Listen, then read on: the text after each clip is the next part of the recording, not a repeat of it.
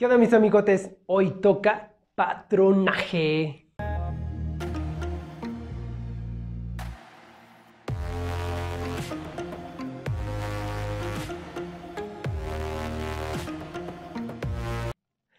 ¿Qué onda mis queridísimos amigos? Pues bueno, en este video vamos a hacer patronaje. En el video pasado realizamos o les enseñé a tomar las medidas para que todos ustedes puedan elaborar las prendas. Hoy les voy a enseñar a realizar todo el talle, los trazos básicos, para que de esta manera puedan realizar cualquier prenda que se imaginen. Este video va a estar de película. Quédense a verlo y comenzamos. Bueno, pues vamos a comenzar. Si recuerdan, en el video pasado tomamos las medidas al maniquí. Estas son las medidas que tomamos y en base a estas es como vamos a trabajar. Vamos a empezar realizando el trazo del talle. Y para, para esto vamos a necesitar un papel bond, un pliego de papel bond.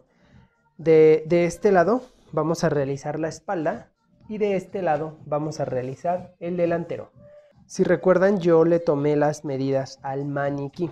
Estas son las medidas que vamos a utilizar ahorita para este video. Eso no quiere decir que ustedes van a trabajar con estas medidas o van a realizar la talla 9. No. Esto es simplemente para que ustedes se den una idea de cómo se tiene que elaborar cada uno de los trazos y ustedes los van a realizar con sus propias medidas, con las medidas que le tomaron a la persona a la que midieron, ¿ok? Entonces vamos a comenzar. Para empezar, lo que siempre hago es poner una línea de toda la de todo el filo de la hoja hacia adentro a una pulgada. Va a ser un margen de una pulgada, de una pulgada, lo mismo de este lado para, para el talle delantero, una pulgada, una pulgada. Ok, entonces hagámoslo.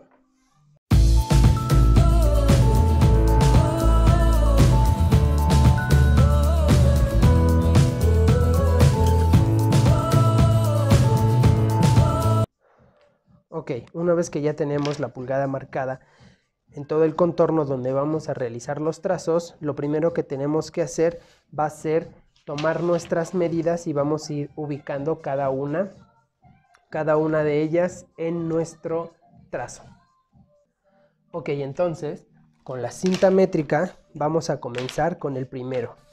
Vamos a necesitar tomar el largo del talle de la espalda, el cual viene siendo talle largo de la espalda 41 centímetros y vamos a marcarlo. Marcamos 41 centímetros.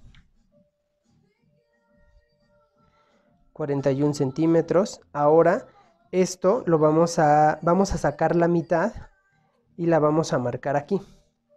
Después en el otro lado vamos a marcar la misma mitad que nos dio, la vamos a pasar hacia el delantero.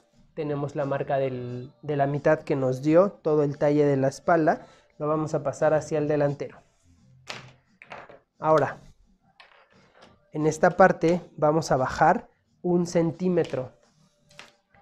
En la parte de la, de la mitad que nos dio, bajamos un centímetro. Aquí está. Ok, ahora, ok. Entonces tomamos la escuadra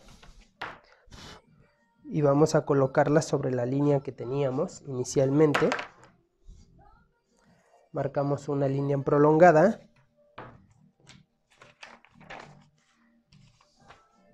Y lo mismo vamos a hacer en la parte de abajo. Una línea prolongada. Vamos a hacer lo mismo en la parte delantera con la línea que ya habíamos marcado inicialmente. Vamos a escuadrar esa línea. Ahí está. Ok ahora lo que vamos a hacer Vamos a, vamos a tomar primero la medida del ancho de la espalda, que nos dio 17.5. Es lo que vamos a pasar en la parte superior de la espalda, que son 17.5. Lo marcamos. Ahora, en el busto vamos a poner los 23.2 que nos había dado 23.2 ok pero aquí vamos a tener un detalle en esta parte como es la espalda le vamos a restar un centímetro restamos un centímetro y este centímetro que le estamos quitando a la espalda se lo vamos a aumentar al delantero.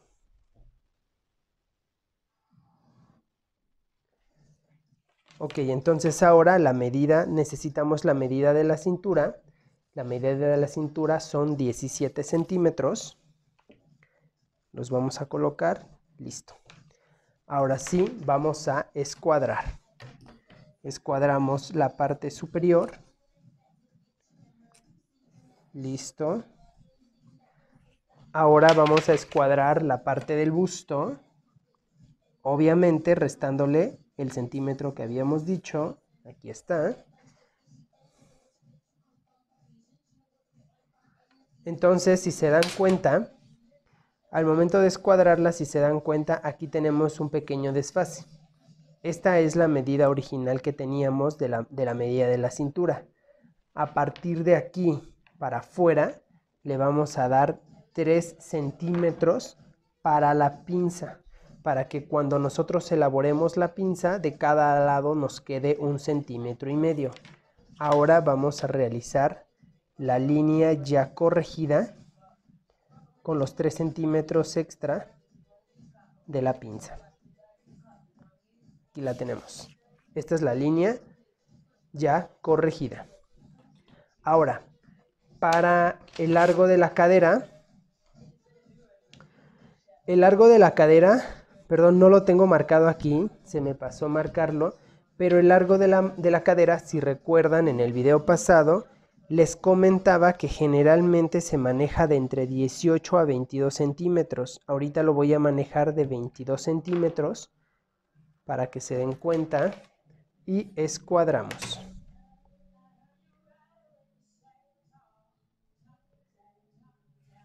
Listo. Ok, ahora el contorno de la cadera son 23.7 centímetros, que son los que le vamos a dar aquí. 23.7 centímetros, listo. Ahora sí, tenemos que unir la cintura con la cadera. Para esto voy a utilizar esta regla, que es la regla Bari. Esta es la regla Bari, o si no la tienen, deben de tener alguna regla de madera que son las reglas sastre. Entonces ahora sí, lo único que tengo que hacer es colocarla sobre la línea de la cintura a la línea de la cadera. Vamos a procurar colocar la regla de la parte que de la parte más curva hacia abajo donde está la cadera, pero no hay que colocarla tan curva. Algo como esto. Aquí está. Listo. Entonces, lo que sigue ahora será sacar de la nueva línea que habíamos marcado sumando los 3 centímetros para cintura, de ahí hacia el centro, vamos a dividirlo por la mitad para poder tener el centro de la pinza. Aquí está. Ahora sí, volvemos a escuadrar. Escuadramos hacia abajo. y escuadramos hacia arriba. Ok.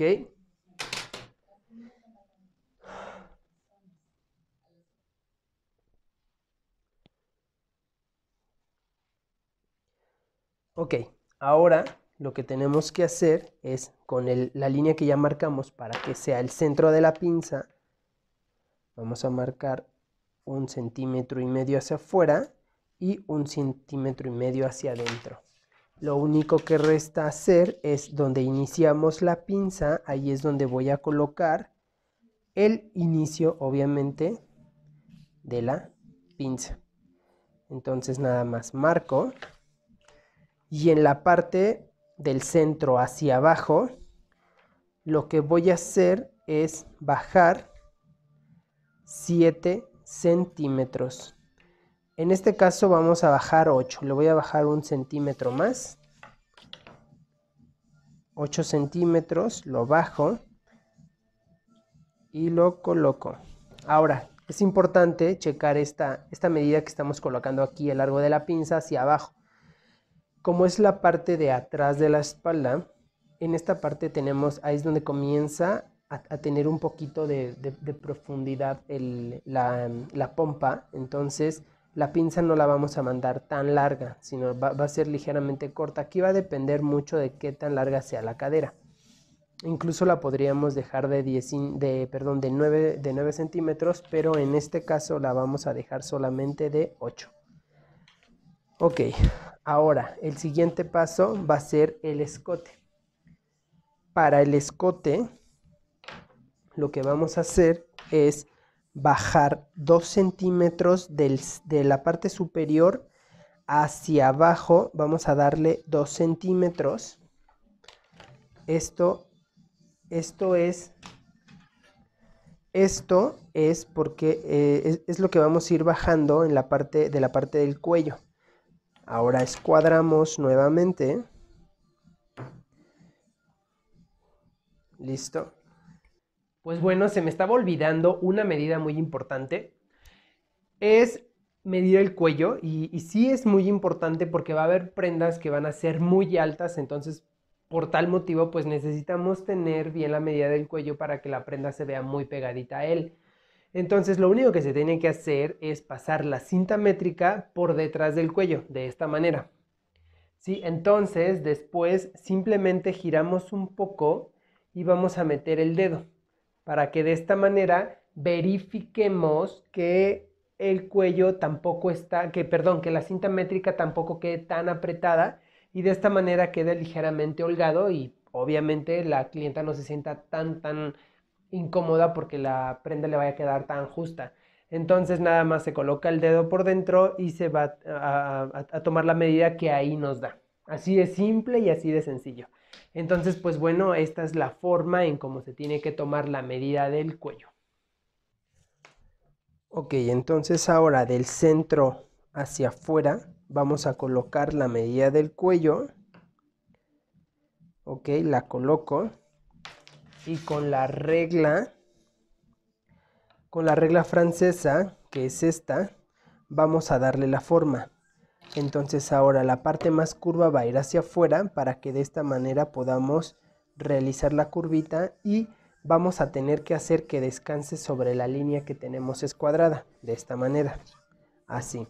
Ahora, tomamos las medidas de la sisa delantera y de la sisa espalda. Para la sisa espalda son 19 centímetros y las vamos a colocar sobre la línea del busto hacia arriba. Son 19 centímetros. Ok, aquí está.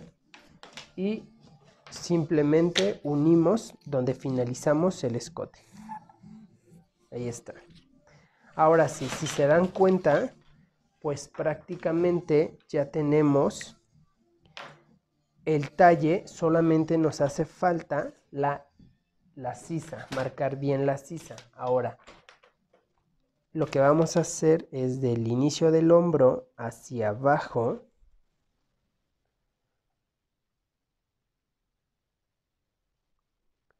del inicio del hombro hacia abajo, la vamos a dividir por la mitad, vamos a marcarla, vamos a meterla ligeramente escuadrada y de, de, la línea hacia adentro, hacia el centro, lo que vamos a hacer es vamos a marcar medio centímetro. Listo. Ahora sí, vamos a marcar la sisa con la curva francesa con la parte más curva hacia abajo. La primera curva la vamos a realizar descansándola sobre la línea recta del busto y que intersecte con la, con la pequeña línea que metimos de este medio centímetro. La tenemos aquí y sacamos. Y ahora el resto lo vamos a realizar así. Lo que podemos hacer es hacerlo directamente o vamos a tomar la medida del hombro que nos habían dado 11 centímetros solamente para corroborar. Entonces si se fijan aquí sale ligeramente, pero aquí todo va a depender de la medida que dimos en el cuello. Entonces esta medida ahorita lo que voy a hacer es simplemente la voy a respetar tal como me dio aquí. Y listo. Ahí está. Ahora sí, tengo terminado todo el talle de la espalda. Ahora vamos a continuar con el trazo del delantero, del talle delantero. Ahora sí. Voy a doblar un poco esto para que no nos estorbe.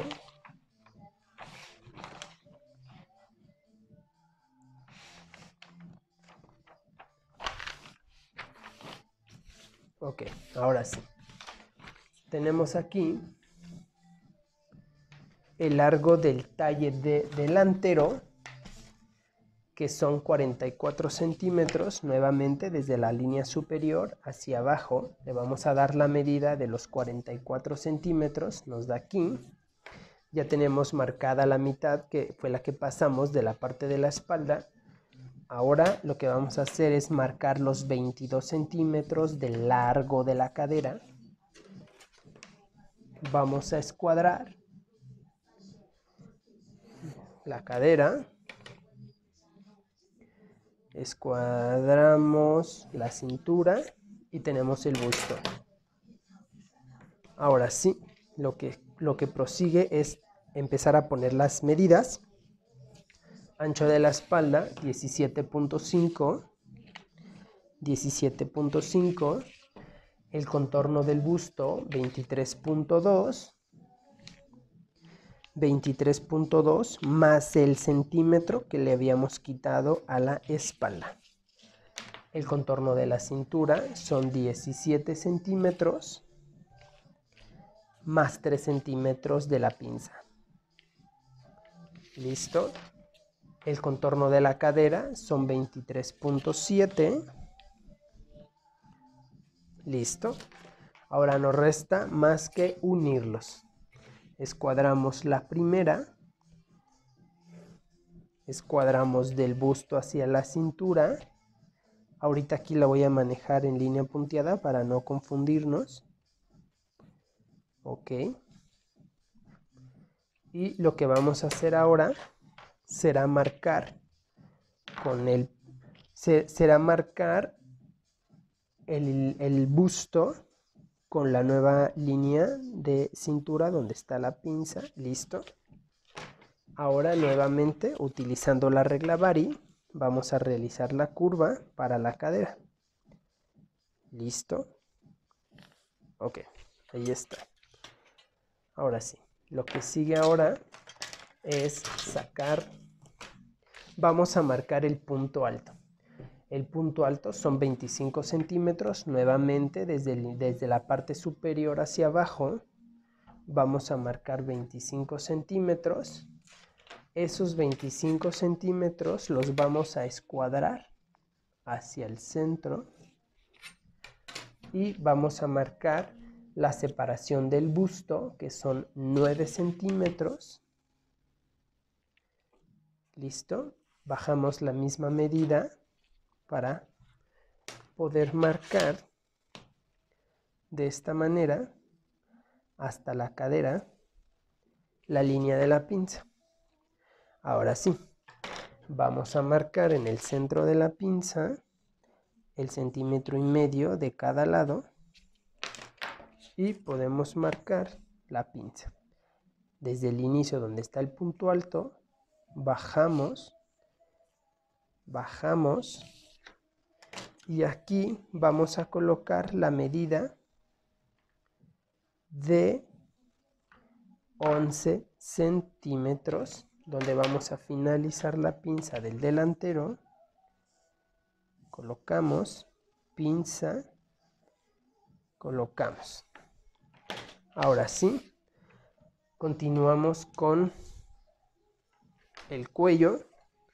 Vamos a poner la medida colocamos la medida del cuello y en la parte del centro de arriba hacia abajo vamos a darle la medida del cuello más un centímetro más listo Aquí está. Escuadramos nuevamente la parte del escote. Listo. Y con la regla francesa, descansándola sobre la línea que ya escuadramos, vamos a colocarla de esta manera y nos vamos al punto de la intersección superior. Listo. Ahora vamos a tomar la medida de la sisa delantera, que son 15 centímetros. Aquí está.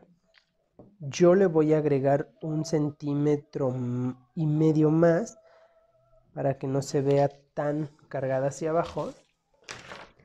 Y de esta manera, uno, hombro. Listo. Listo.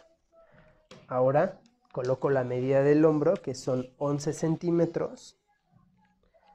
11 centímetros. De la nueva línea que coloqué del hombro hacia el busto, saco la mitad, la coloco y voy a meter un centímetro, un centímetro y medio. Metemos un centímetro y medio y lo mismo que hicimos en la espalda, vamos con la, con la parte más curva, la dejamos descansar sobre la línea recta del busto, de esta manera, y aquí donde está el, el hombro y marcamos la sisa. De esta manera vamos a tener la sisa terminada. Ahora, la línea que habíamos marcado donde nos da el punto alto, lo vamos a prolongar hacia afuera. Ahora, ya casi está terminado, pero nos hace falta colocar la pinza del busto porque les voy a explicar.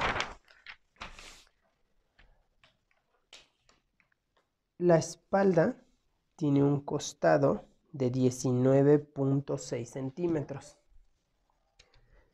y el costado de la espalda de 24. Entonces la medida que tenemos en la espalda nos tiene que dar en el delantero. Ahora lo que vamos a hacer es colocar aquí la medida que nos da esta, el pedacito de la sisa hacia la línea que prolongamos del punto alto, nos da una medida de 4.6 centímetros, 4.6 y aquí nos está dando un total de 19.6. 19.6. Ahora, aquí tenemos 4.6. Los vamos a respetar de este lado, 4.6. Y vamos a prolongarla hasta que nos dé la medida del costado de la espalda, que son 19.6. Colocamos la, la medida y ahora nos resta más que unirla con la medida que ten, con el punto alto y de esta manera obtenemos la pinza. Ahora, aquí prácticamente ya tenemos el talle de la espalda y el talle delantero. Ahora voy a separar aquí para decirles cómo se tiene que cerrar la pinza.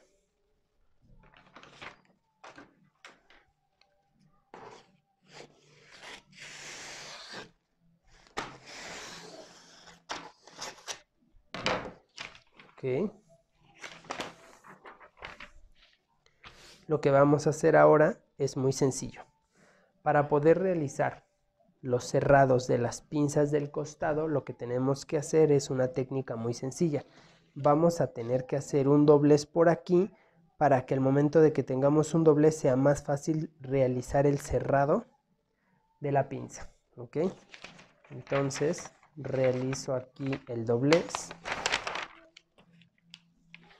aquí está. Y de esta manera lo que voy a hacer ahora va a ser simplemente doblar la pinza. La pinza tiene que caer es hacia abajo.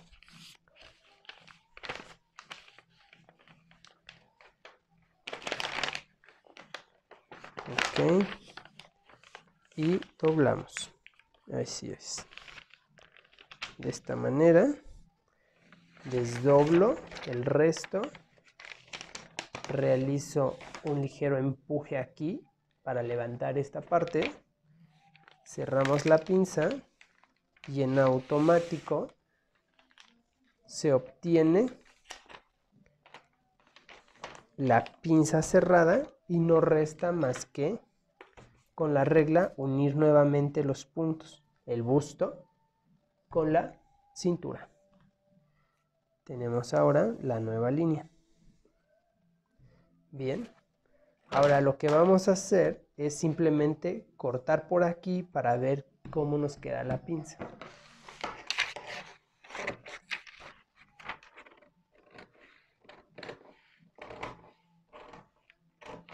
Listo separo y abro. Y de esta manera me queda terminada la pinza del busto. Ok, pues bueno, vamos a finalizar esto aquí porque prácticamente ya tenemos los dos trazos. Tanto espalda como delantero.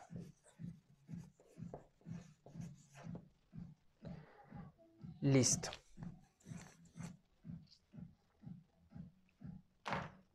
Terminamos. Pues bueno, mis amigos, espero que les haya gustado este video, espero que hayan aprendido algo, de todos modos vamos a ir subiendo cosas nuevas, cosas diferentes, y si les gustó, pues denme un like, Espero todos sus comentarios aquí abajito y por algún lado del video o incluso acá abajo les voy a dejar mis redes sociales para que me sigan en Instagram y en Facebook. También esperando que si les gustó, pues lo compartan, se suscriban para que esto crezca y crezca y de esta manera podamos seguir trabajando día a día. Pues bueno, no resta más que despedirme y espero verlos para el siguiente video.